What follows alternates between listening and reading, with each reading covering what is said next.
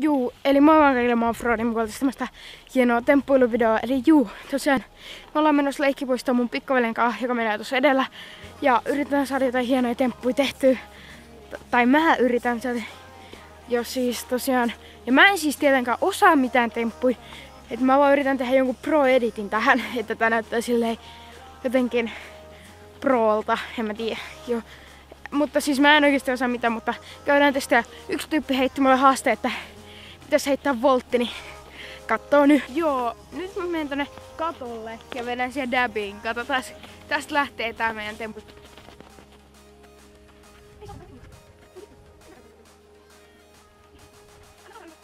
Mä oon nyt kiivennyt tänne ihan sikakorkealle kappaa.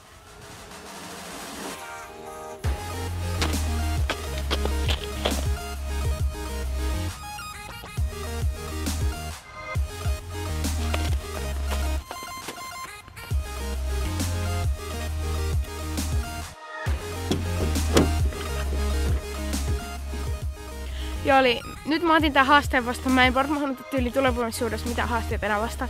Eli mä hyppään voltin öö, tosta valkoiselta jutulta.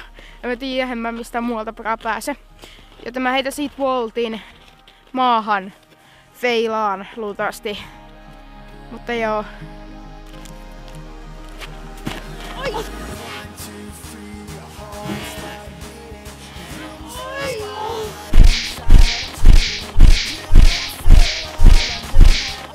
Joo, tota, no, toi vähän epäonnistu. Mä olisin kyllä osannut paremmin. Mä en muuta ihan hyppääväs. Mutta joo, tosiaan mä yritin. Öö, en mä kyllä tiedä kauheasti yrityks mä, mutta... Hello darkness, my old friend. I've come to talk with you again. Joo, eli jättäkää subscribe ja like mun eeppiselle failaukselle, niin saattaa tulla lisää etu.